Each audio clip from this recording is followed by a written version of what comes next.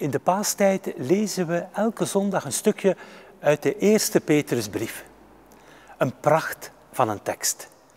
Er wordt gesproken over Jezus die zich met een grote genegenheid aan de mensen geeft en die altijd op God blijft vertrouwen.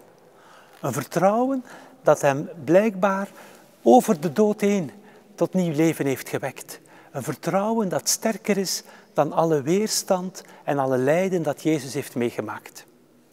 En in dat vertrouwen mogen de leerlingen van Jezus delen. Die tekst van Petrus spreekt over christenen als mensen die door God zijn geliefd, die in God zijn herboren en die de stijl van Jezus overnemen. Het is dus niet alleen een tekst die heel veel troost biedt aan christenen, maar het is een tekst die het leven van de christen verandert. Het wordt een leven dat getekend is door hoop, door vertrouwen, door eensgezindheid en door een grote vriendschap voor de mensen. Het is eigenlijk een pracht van een tekst die ook vandaag ons enorm kan inspireren. Eigenlijk zit er iets eigenaardig. Want je ziet goed in die Petrusbrief dat christenen toch anders zijn in hun radicale manier van leven. Ze zijn anders dan wie niet gelovig is. Maar pas op, die andersheid zet juist aan tot een enorme verbondenheid, tot solidariteit.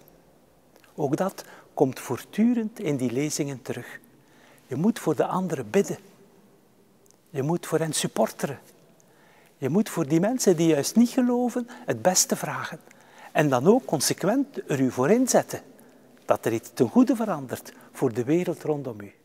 Zelfs wanneer de mensen interesse betonen in uw manier van leven, moet je ze niet gauw proberen binnen te rijven.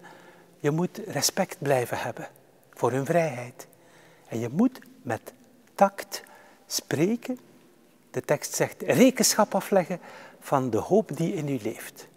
Om dat te kunnen, moet je het geloof ook zelf beter leren kennen. En het is daarvoor dat het CCV een aanbod doet. Daar wens ik u veel vreugde bij.